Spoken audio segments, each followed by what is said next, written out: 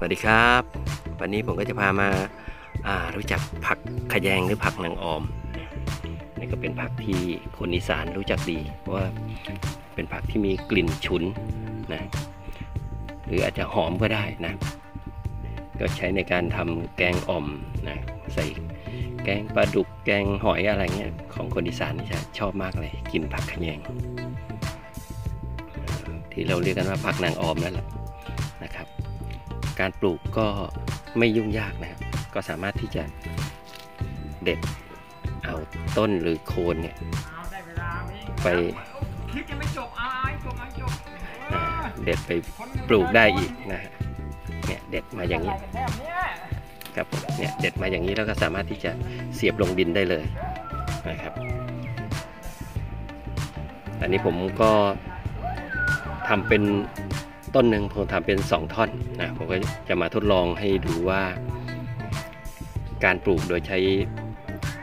ลำต้นที่เป็นท่อนล่างกับท่อนบน อันไหนจะดีกว่ากัน ท่อนล่างคือท่อนนี้นะท่อนอย่างนี้ครับผมเนี่ยอย่างเงี้ยแล้วเราเสียบลงดินกับท่อนที่เป็นส่วนปลาย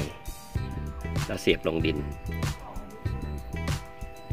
มาดูกันนะครับผมนี่ก็เป็นสองกระถางนะอันนี้เป็นกระถางที่ปลูกจากส่วนที่เป็นลำต้นที่เป็นส่วนโคน และก็ลำต้นที่เป็นส่วนปลายคือติดยอดมาด้วยนะผมก็จะเสียบลงในดินเหนียวนะ อันนี้ผมทำดินเหนียวผสมกับขุยมะพร้าวแล้ว นะก็ความเหนียวก็พอสมควรไม่เหนียวแน่นมากก็กำลังทำให้รากของผักนางออมหรือผักขยงเนี่ยสามารถแทรกลงไปได้ดี ก็ไม่ได้ทำหนามากนะ ก็ประมาณสัก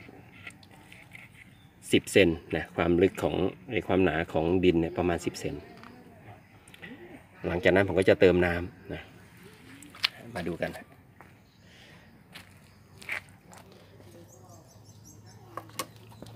อ่า อันนี้ผมจะเติมน้ำลงไป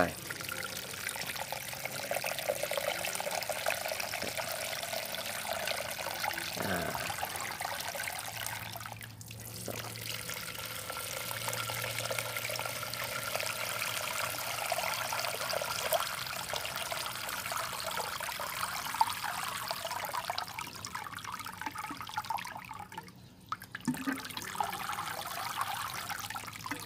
ครับผม